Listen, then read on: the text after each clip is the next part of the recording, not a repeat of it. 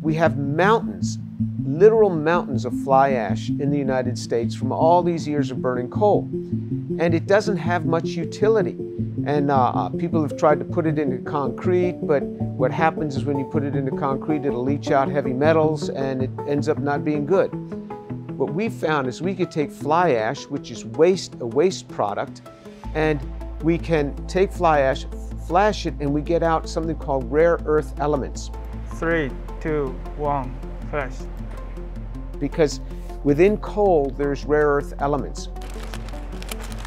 Not a lot, but the coal is a massive amount of volume. Now you've burned away all the carbon, and so you've gotten you've uh, got much less massive material, and you have all of this, these rare earth elements. Rare earth elements are the elements at the bottom of the periodic table.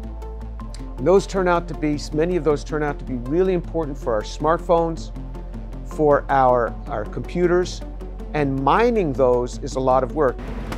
When we flash it, that frees it up from these other inorganics, and then we can rinse them all out and we get rare earth elements. So all these elements that we're seeking in the world, that we're trying to find in the world now, we have it all around us. It's all around us and it's in our waste called fly ash. It's always exciting to be able to take something from a research lab in a university and then see it transition to a small company and then start growing from there and really tackle, in this case, big environmental problems.